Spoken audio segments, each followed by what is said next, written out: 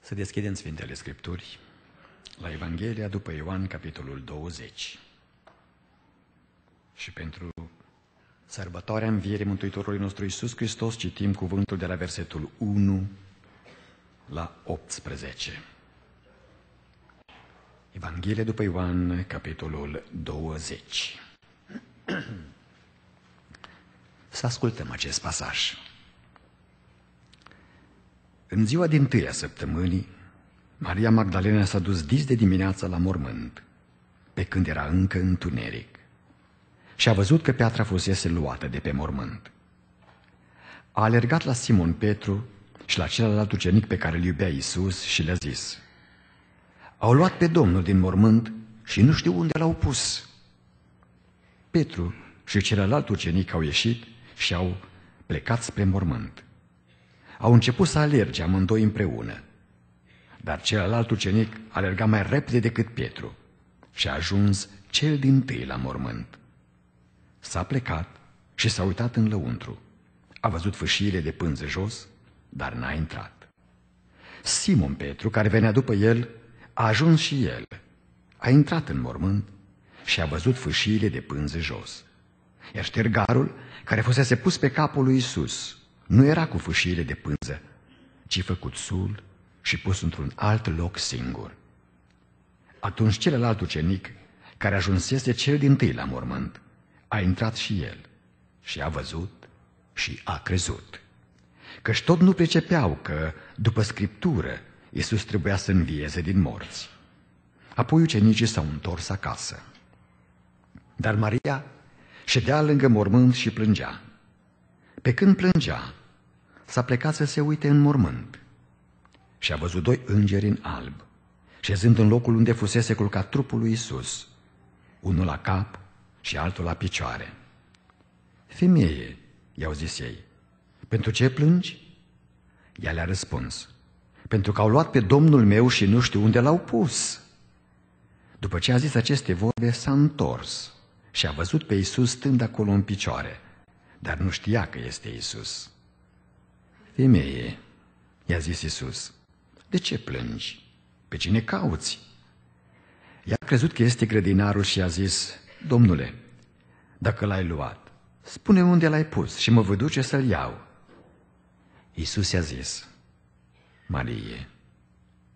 Ea s-a întors și a zis în evreiește, Răbunii? Adică învățătorule. Nu mă ținea, i-a zis Iisus, căci încă nu m-am suit la tatăl meu, ci du-te la frații mei și spune-le că mă sui la tatăl meu și la tatăl vostru, la Dumnezeul meu și la Dumnezeul vostru. Maria Magdalena s-a dus și a vestit ucenicilor că a văzut pe Domnul și că i-a spus aceste lucruri. Amin. Ori de câte ori vom citi această istorie și celelalte paralele din Evangheliile Noului Testament, nu ne vom sătura să redescoperim frumusețea acestui mare eveniment, care face posibilă mântuirea noastră. Învierea din morța Domnului nostru Isus Hristos, iubiți frați și surori, doamnelor și domnilor, este o zi măreață. Este o zi măreață pentru întreg cosmosul.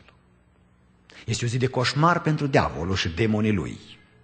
Dar este o zi de bucurie pentru Biserica lui Hristos și pentru toți mântuiții. Ziua de astăzi este o zi pe care noi o credem. Este o zi de altfel, pe de altă parte, contestată. În timpul regimurilor comuniste din Europa, o informație a venit afară.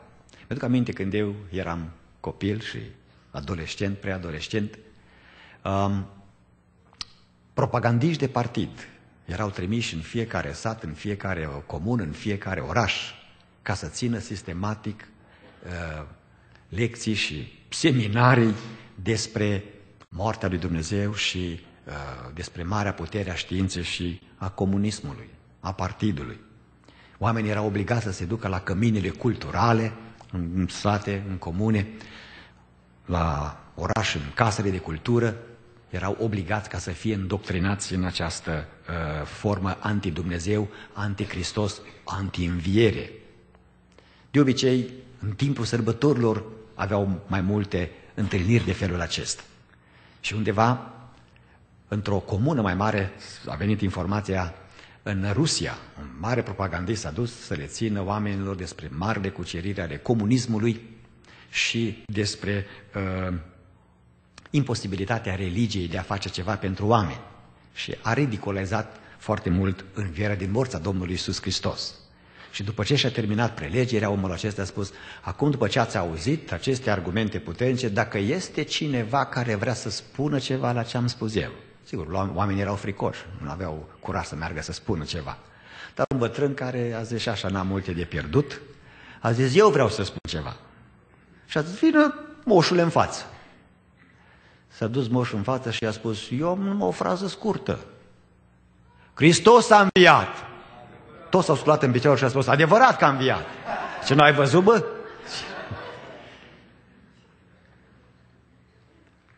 Oamenii, așa zis și înțelepți, cel rău stârnește. Pentru că această sărbătoare să fie ridiculizată, să fie călcată în picioare. Acest mare eveniment. De aceea Sfântul Apostol Pavel spune, dacă n-a înviat Iisus Hristos din morți, care este temelia credinței creștine, am crezut degeaba. Suntem niște oameni înșelați, cei mai nefericiți de pe pământ. Dar Isus Hristos este viu. A înviat din morți. Știm lucrul acesta pentru că îl trăim în noi, îl simțim în noi. În pasajul pe care l-am citit în această dimineață, în această zi de sărbătoare, ni se spune că el a înviat după cuvântul Domnului. Uitați-vă în versetul 9, din nou împreună cu mine. Căci tot nu pricepeau că după Scriptură Isus trebuia să învieze din morți. Acesta este argumentul cel mai mare, Scriptura, nu mormântul gol. Scriptura. Și dacă urmăriți cu atenție Scriptura și argumentele pe care Dumnezeu le aduce în orice direcție, inclusiv în direcția învierii lui Isus Hristos, toate lucrurile concură și se duc la Scriptură. Matei 28 cu 6, după cum este scris, a înviat. Marcu 16, 6 la 7, după cum v-a vorbit și s-a scris, a înviat. Luca 24, versetele 5 la 8, după cum era scris în profeți, în lege, a înviat. 1 Corinteni 15, 3 la 4. Sfântul Apostol Pavel, inspirat de Duhul Domnului, spune că el a înviat după Scriptură.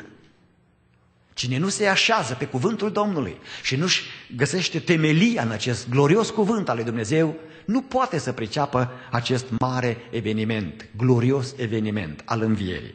De ce în această dimineață de înviere, pentru Biserica Emanuel, pentru dumneavoastră cei de la internet și pentru audiența internațională care se închină împreună cu noi și se va mai închina încă din aceste zile înainte. Mesajul cu care voi veni în fața dumneavoastră cu smerenie, în numele Domnului Isus Hristos, se intitulează Isus a înviat după Scriptură. Isus a înviat după Scriptură. Și ne vom uita în cuvântul Domnului din trei perspective distincte. În primul rând, o privire în Vechiul Testament. Dacă am înviat după Scriptură, trebuie să fie în Vechiul Testament lucrul acesta. Pentru că în vremea în care Ioan spune că a înviat după Scriptură, în vremea în care Apostolul Pavel spune că a înviat după Scriptură, nu era exista decât o singură Scriptură. Scriptura Vechiului Testament. Noul Testament încă nu era uh, compus, se lucra la el. Și au mai trecut încă 300 de ani până când Noul Testament a apărut în forma în care o avem astăzi. Și atunci trebuie să ne uităm în Vechiul Testament. Prima indicație, prima sugestie profetică că El va învia din morți este în Geneza 3 cu 15. Unde cuvântul Domnului spune că Dumnezeu va pune vrăjmășie între sămânța femeii și sămânța diavolului. Iar ordinea care este pusă acolo s-ar putea să uh, ducă pe cineva uh, la concluzii greșite, pentru că în cuvântul Domnului se spune în felul acesta. Vrăjmășie voi pune între tine, diavolul, și femeie, între sămânța ta și sămânța ei. Aceasta îți va zdrobi capul, sămânța femeii, și tu îi vei zdrobi călcâiul.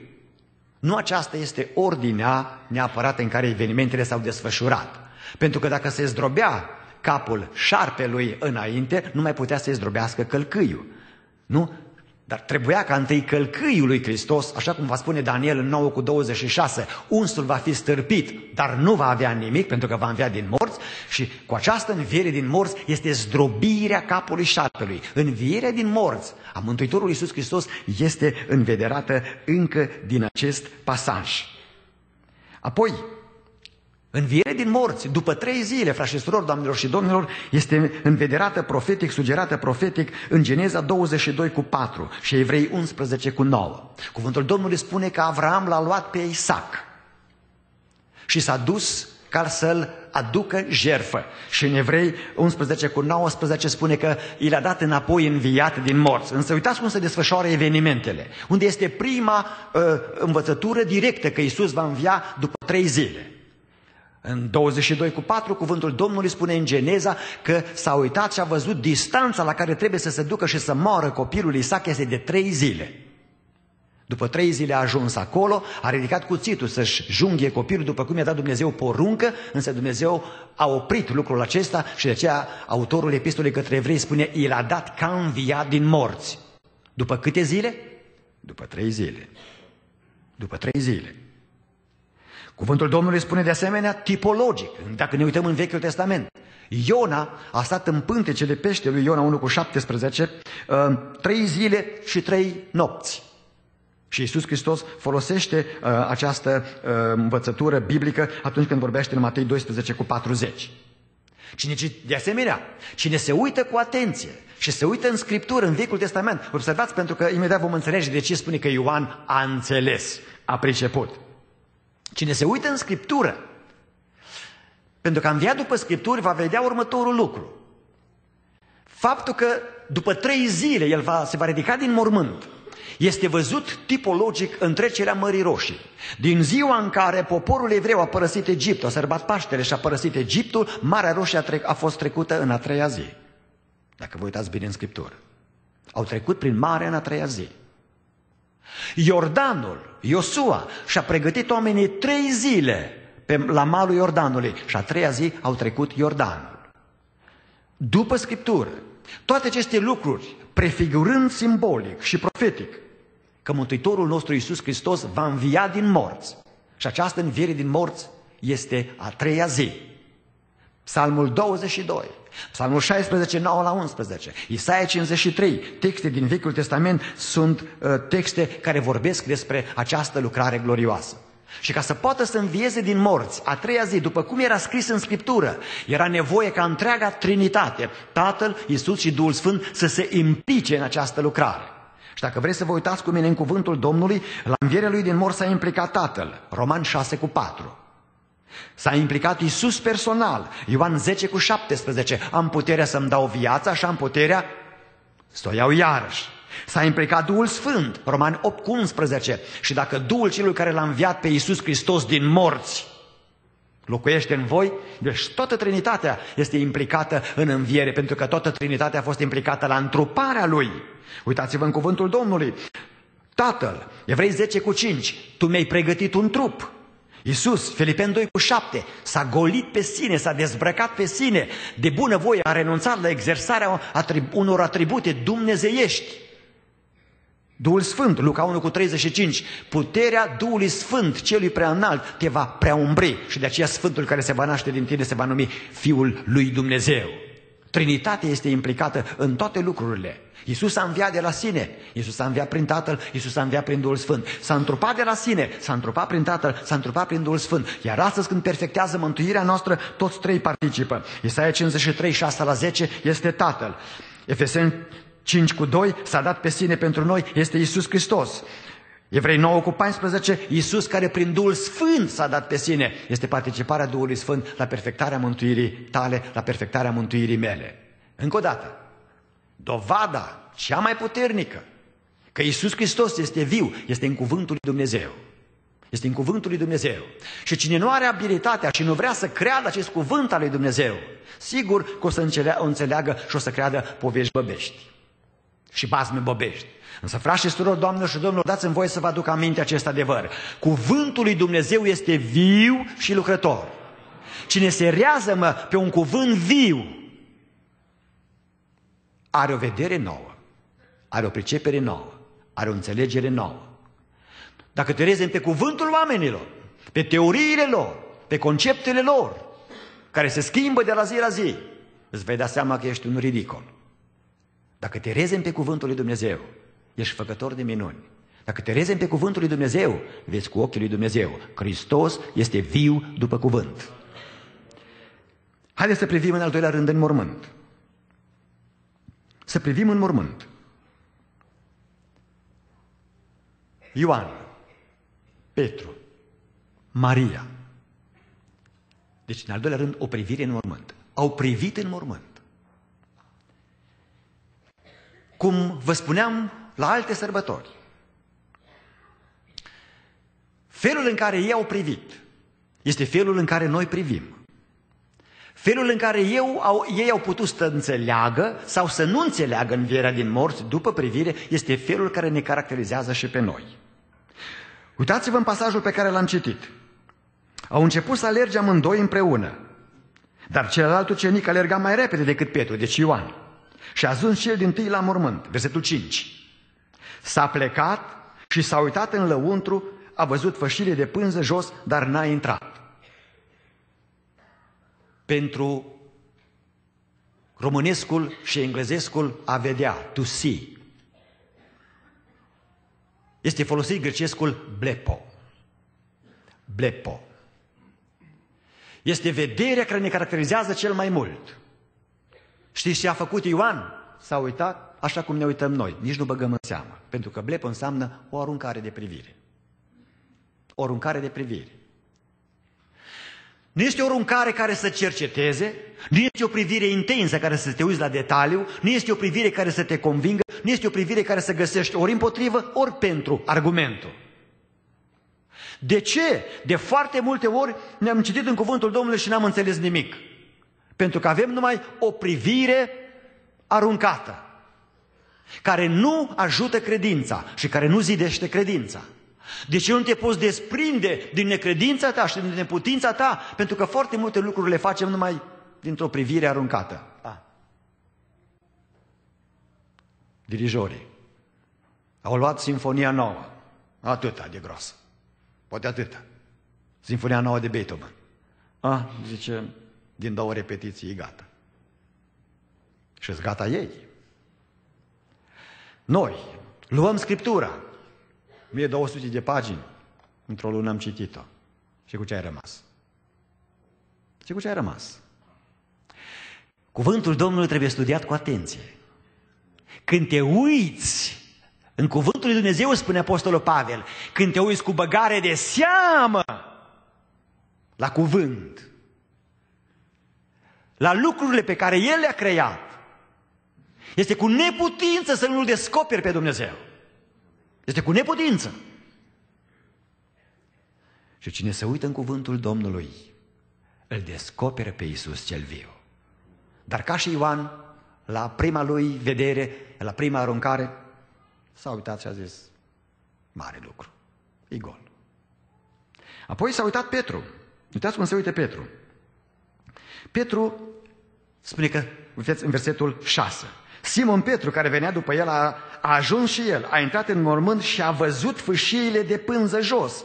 A văzut ștergarul care fusese pus pe capul lui Isus. Nu era, cu, uitați cum vede el, ștergarul, zice, nu era cu fâșiile de pânză, că trebuiau să cadă jos, ci făcuțul este împăturat frumos. Este împăturat frumos și pus într-un alt loc. To see, a vedea, care este folosit în acest verset în dreptul lui Petru, este grecescul verbul theoreo. Teoreo. De unde vine românescul și englezescul a teoretiza. Pentru că Apostolul Petru s-a uitat cu detaliu. Și când s-a uitat cu detaliu un mormânt a zis, Domnule, dar nu se poate. Dacă cineva fura trupul lui Iisus Hristos, nu lucra cu atâta migală să desfășoare învelișul, prosopul de pe capul lui. Uite, domnule, că are forma capului. S-au turnat 100 de litri de mir pe el și l-au îmbăxit și l-au făcut să aibă formă de om. Dar fii atent cu câtă migală este pus deoparte. Mm.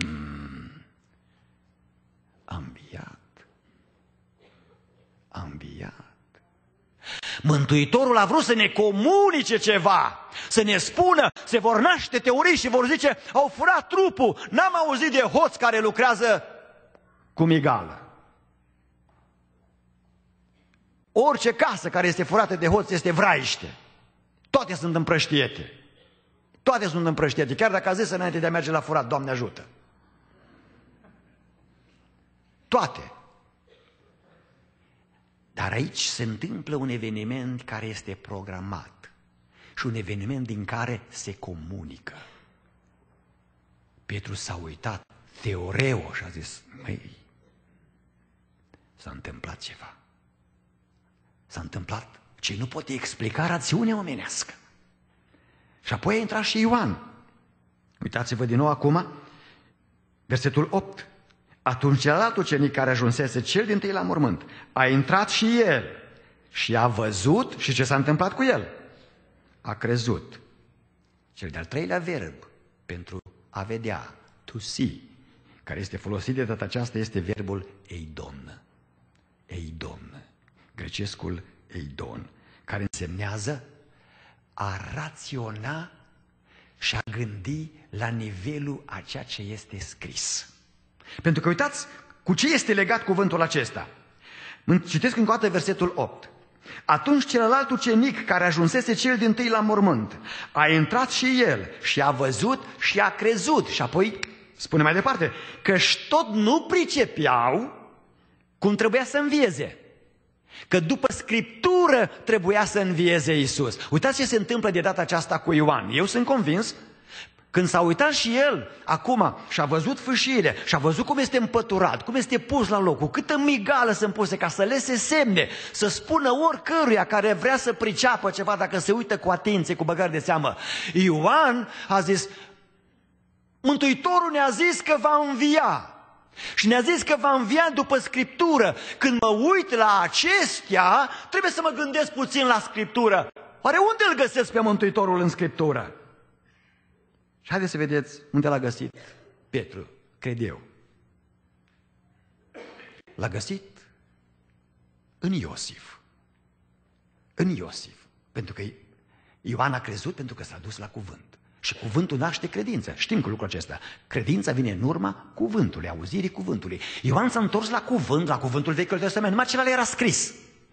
Dar când s-a uitat acum la haine, la fâșii, la felul în care sunt puse și că sunt părăsite acolo și Isus nu este acolo, Ioan s-a uitat în minte, nu numai în mormânt, s-a uitat în inimă, nu numai în mormânt, s-a uitat la Dumnezeu, nu numai în mormânt, s-a uitat în cuvântul lui Dumnezeu. Și uitați ce a văzut. L-a văzut pe Iosif, Geneza 39 până la 41. Și l-a văzut pe Iosif, condamnat pe nedrept și închis în închisoare. Geneza 39 cu 20. Iisus este condamnat pe nedrept la moarte. L-a văzut pe Iosif condamnat în închisoare stând între doi condamnați, un paharnic și un pitar. Și l-a văzut pe Iisus Hristos condamnat la moarte între doi condamnați, între doi tâlhari. L-a privit pe, Iisus, pe, pe Iosif, pentru că el a, el a început să, să gândească dumnezeiește acum. L-a privit pe Iosif și a zis, unul din cei care a fost condamnați cu Iosif, pentru el Iosif a fost binecuvântare. Nu? Este vorba de paharnic. Geneza 49 la 15 este paharnicul și pentru unul a avut cuvântul condamnării. Geneza 15 la 40, 15 la 22, pentru Pitar. Și s-a dus la Isus Hristos. Pentru unul din cei care a fost cu el pe cruce, Isus a fost binecuvântare, viață veșnică. Pentru unul a fost judecată. El a început să le pună împreună Ioan, pentru că a început să gândească cu mintea lui Dumnezeu și cu gândirea lui Dumnezeu. Și când a văzut că această istorie s-a repetat, s-a uitat la ce este acolo și a adus aminte încă ceva, cred eu, Ioan. Și a zis, a, după cum este scris, știu acum, știu acum, Iosif n-a stat pentru totdeauna în închisoare. Dacă calculează cineva, Iosif a stat în închisoare trei ani. Trei ani. N-a stat în închisoare pentru totdeauna. Însă, într-o zi, Iosif a trebuit să se înfățișeze în fața lui Faraon. În momentul în care s-a înfățișat în fața lui Faraon, cuvântul Domnului spune, în Geneza 41 cu 14, în grabă, în grabă. Ce a făcut? Și-a schimbat hainele, s-a bărberit, a fost îmbrăcat în haină de glorie și de măreție, de prim-ministru, și s-a dus în fața lui Faraon. Și Ioan a zis, mm, era normal. Iisus Hristos este Fiul lui Dumnezeu, ca și Iosif în vechime, pentru că trebuie să înțeleg acum, m-am uitat bine, ca și Iosif în vechime, n-a putut să meargă în fața tatălui în haine de mort, în hainele mormântului, în închisoarea în care fiii oamenilor s-au temut că nu se vor scula niciodată. Și a lăsat hainele aici, s-a îmbrăcat cu glorie și slavă și de aici încolo ne prezintă în fața lui Dumnezeu odată și pentru totdeauna, mărit să fie numele Domnului. S-a uitat și a crezut. S-a uitat și a crezut. Pentru că s-a uitat în cuvânt și s-a uitat să vadă unde sunt aceste lucruri în Vechiul Testament ca să priceapă. Dar nu numai Petru și Ioan s-au uitat în mormânt. Uitați și Maria Magdalena s-a uitat în mormânt. Versetul 11 și 12 din pasajul meu spune că a început să privească și ea în mormânt. Ce argumente a avut ea ca să privea, ă, în mormânt unde, unde s-a uitat? Versetul 12 și a văzut doi îngeri în alb, șezând în locul unde fusese culcat trupul lui Isus, unul la cap și altul la picioare. Unde este aceasta în Scriptură? Pentru că totul, frați și doamnelor și domnilor, este după cuvânt. Unde este în Scriptură? Uitați unde este în Scriptură. Corespondentul pentru această repetiție înainte de jerfa desăvârșită a Domnului Isus Hristos, este la cortul întâlnirii, este la templu, este în locul numit Sfânta Sfintelor, este în locul specific numit chivotul legământului lui Dumnezeu, capacul ispășirii. Dacă vă uitați în cuvântul Domnului, în Exod, capitolul 25, versetele 10 la 22 și mai, mai, în particular versetele 17 la 22, deci în Exod 25, cuvântul Domnului spune următorul lucru. Să faci și un chivot, o lădiță de lemn de salcâm, poleită cu aur pe dinăuntru și pe din afară. Deasupra să-i faci un capac, numit capacul ispășirii. Acolo, o dată pe an, marele preot va intra în locul prea sfânt din templu, în Sfânta Sfintelor, unde va fi așezat acest chivot. Și deasupra acestui capac va stropi cu sânge ca să facă ispășirea poporului, o dată pe an. Și cuvântul Domnului conclude acolo cu aceste cuvinte, aș vrea să le citesc pentru dumneavoastră, pentru edificare, pentru că, repet încă o dată, tot ce se întâmplă, se întâmplă după Scripturi, după Scripturi. Și uitați ce se întâmplă în, în această privință. Versetul 22 din Exod 25. Hai să vă citesc. Să pui în chivot mărturia pe care ți-o voi da. Acolo mă voi întâlni cu tine. Dar mai este ceva cu chivotul acesta. Pe capacul ispășirii sunt ce? Doi heruvimi. Uitați ce spune cuvântul Domnului. Să faci doi heruvimi de aur. Să-i faci de aur bătut la cele două capete ale capacului ispășirii. Să faci un heruvim la un capăt și un heruvim la celălalt capăt și între acești doi heruvimi mă voi întâlni cu tine și îți voi vorbi. Când Maria s-a uitat în mormânt, ce a văzut? Ce a văzut? A văzut doi îngeri. Comentatorii Sfintelor Scripturi spun că este posibil de data aceasta să fie doi arhangheli, Gabriel și Mihail, care se ocupă de Israel și care au anunțat nașterea și moartea Mântuitorului nostru Isus Hristos. Unul este la cap și unul este la picioare. Și când Maria s-a uitat acolo, dacă se gândea, dacă se uita ca Ioan, trebuia să citească în cuvântul lui Dumnezeu. Aha, acum pricep. Dumnezeu a pus acești doi îngeri aici și a pus cu un mesaj ca aici să vină să ne vorbească. Și mesajul care este acolo în mormânt între cei doi heruvimi este acesta. De ce căutați pe cel ce este viu între cei morți? A înviat, nu mai este aici. Citiți, uitați-vă în Scriptură. Nu-l mai căutați în mormânt. Mesajul care este acolo, locul unde vorbește Dumnezeu între cei doi îngeri este acesta. El este viu. Tu poți să scapi de păcat, tu poți să scapi de orice boală, tu poți să scapi de orice neputință, tu poți să scapi de sub orice influență. Dumnezeu este viu, aici a pus toate problemele voastre și le-a îngropat. Este o comunicare în mormânt. Este o comunicare în mormânt. Numai noi să luăm seama, numai noi să citim cu atenție. Căci pe capacul acesta al ispășirii, pe capacul acesta al ispășirii se stropea cu sânge și acolo era prezența Domnului. Vreau să arăt macio din nou. Acolo era prezența Domnului. Așa cum a spus Domnul, acolo mă voi întâlni cu voi. El s-a întâlnit cu noi în mormânt. Și a zis, toate păcatele voastre, toate neputințele voastre, aici au rămas. Fiindcă eu trăiesc și voi veți trăi. Fiindcă eu sunt viu și voi sunteți vii. Fiindcă eu am biruit și voi veți birui, îndrăzniți. O comunicare glorioasă, o comunicare răscumpărătoare. În al treilea rând, o privire la arătările lui Isus. O privire la arătările lui Isus. Este singurul lucru care l-am pus pe PowerPoint pentru dumneavoastră, pentru că aș vrea să vedeți, cercetând mai multe comentarii de la începutul istoriei bisericești și până astăzi. Cercetătorii Sfintelor Scripturi, comentatorii, sunt de acord că Isus Hristos a avut 14 apariții. Deci s-a arătat în 14 ocazii diferite. Și anume, 11 până la înălțare și 3 după înălțare. Și uitați care sunt aceste apariții, le-am pus pentru dumneavoastră ca să vi le notați. Prima dată, le-am pus exact în ordine în care sunt în Scriptură. Maria Magdalena, Ioan 20 cu 14. Al doilea, altui grup de femei, Matei 28, 9 la 10. Trei, după ele s-a arătat în particular lui Simon, Simon Petru, Luca 24 cu 34. 4. S-a arătat la doi ucenici care mergeau la Emaus, Luca 24 cu 13.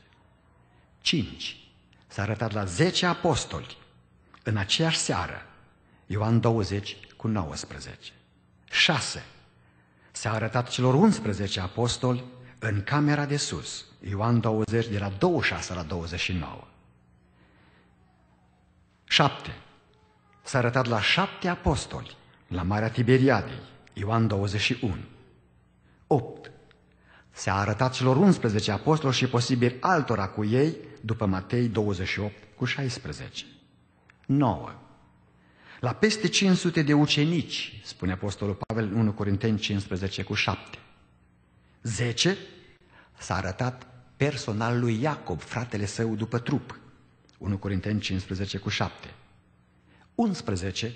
S-a arătat celor 11 apostoli și posibil altora cu ei pe muntele înălțării la cer, fapte 1.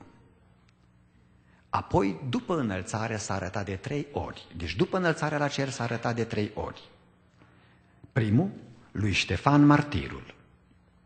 Fapte 7 cu 56. Și aici vreau să fac o, un, un, o mențiune specială pentru că cineva va zice și alții l-au văzut pe Iisus. Și eu l-am văzut pe Iisus în vedenii și în vise de noapte.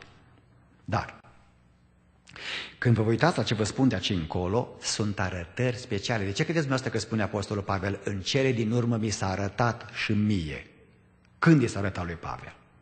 La câți ani după? 30 de ani după ce a înviat din morți. 30 de ani după ce a înviat din morți. Deci Isus a mai făcut excepție, trei arătări. Prima, lui Ștefan Martirul, potrivit 7 cu 56, 7 cu 56, expresia pe care o folosește Ștefan Martirul este acesta. Văd pe Fiul omului. El nu spune pe Fiul lui Dumnezeu. Măcar că El este Dumnezeu în momentul acesta. Ce văd pe Fiul omului.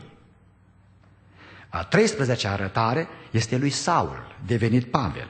Dacă vă uitați în fapte 9 cu 3 la 7, fapte 22, 6 la 9, Fapte 26 cu 13. În toate aceste trei comentarii, Apostolul Pavel spune, când am vorbit cu el, mi-a zis, eu sunt Isus din Nazaret. N-a spus că eu sunt Fiul lui Dumnezeu. Deci este o arătare. De spune Pavel, în cele din urmă mi s-a arătat și mie. Pentru că i s-a arătat ca om, ca om înviat din morți. Și în final, a 14-a este în insula Patmos, i s-a arătat lui Ioan Apostolul. Potrivit Apocalipsa 1, 12 la 18, în versetul 13 spune, m-am uitat și am văzut pe unul care era fiul omului. Nu spune că l-am văzut pe fiul lui Dumnezeu. Fiul omului și asta este semnificativ. Dar de ce este semnificativ? În aceste 14 arătări este codificat, frate și surori, doamnelor și domnilor, un mesaj divin. Și uitați care este mesajul. Fiți atenți. 14 este o sumă, dacă vreți, formată din două grupuri egale de câte șapte. 2 ori 7 14. Deci 14 este o sumă formată din două grupe egale de câte șapte. 2 ori 7 14. Uitați care este mesajul. În Sfânta Scriptură, potrivit 1 Timotei 5 cu 19, potrivit Deuteronom 19 cu 15, orice lucru spune să nu-l consider real și bun decât pe baza a două mărturii.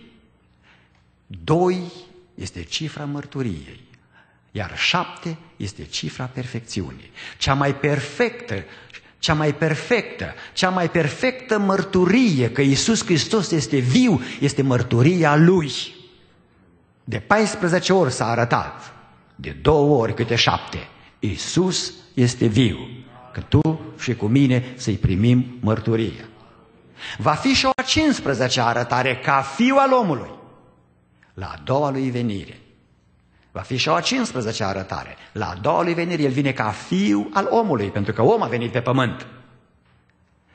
Ce însemnează aceasta? Ce vrea să ne comunice Domnul cu, cu, în legătură cu învierea Lui în această arătare? 15 este formată din trei unități, de câte, din, din trei unități a câte cinci grupe fiecare. 3 ori 5 e 15. În Scriptură, 3 este cifra revelației desăvârșite, iar 5 este cifra harului.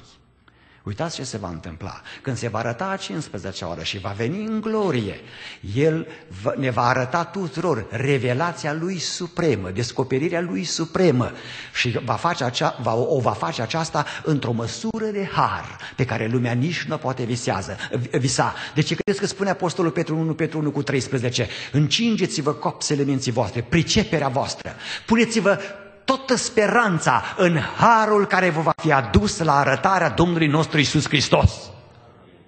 Vino, Doamne Iisuse!